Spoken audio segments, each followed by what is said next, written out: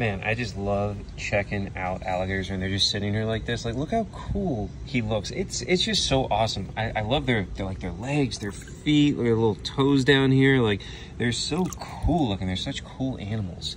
And you take a look up here. Uh, you got a leaf on your nose there. Yeah, another one right there, buddy.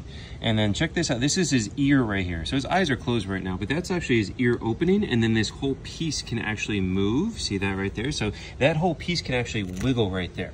All right, so when they go underneath the water, like, look, oh, you see it? Just closed. As he submerges, he closes his ear up and he's gonna try to eat a leaf. okay. You, you munching on some leaves down there, buddy?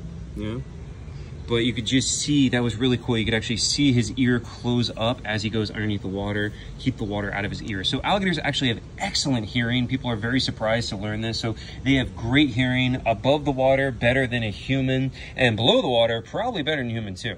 I mean,